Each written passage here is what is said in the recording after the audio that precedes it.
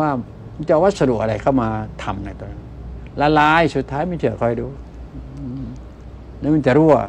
มันจะระเบิด โอเคไหม ก็ถือ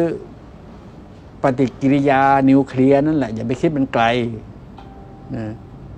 ปฏิกิริยาฟิวชั่นฟิวชั่นนั่นแหละ อย่าไปไกล อย่าไปไกล โอ้ยมันจะไปพังเรื่องอะไรรู้ไหมพังเรื่องของระบบการทำให้ ไอ้หล่อเย็นเพราะมันร้อนมากจะเอาความเย็นที่ไหนเข้ามาหล่อ ความเย็นนี่ว่ามันต้องใช้นู้นนะเดี๋ยวนะฮีเลียม ฮีเลียมเหลวนะครับ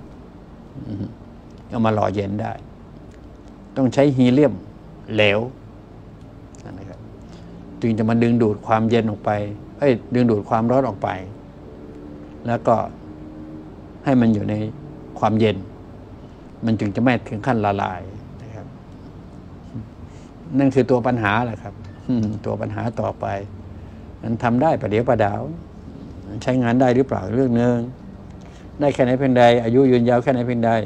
คุ้มกับการลงทุนไหม่ไม่ใช่เราเนาะก็แปลว่าเรื่องของเขาก็แล้วกันนะ ถ้ามันรั่ว ถ้ามันแตก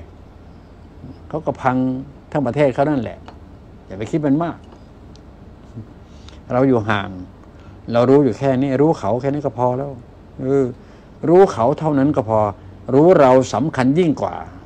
โอเคไหมครับ รู้เราสำคัญยิ่งกว่า โอเคนะยืนให้อยู่ครับคำนี้นะฮะยืนให้อยู่แล้วจะดี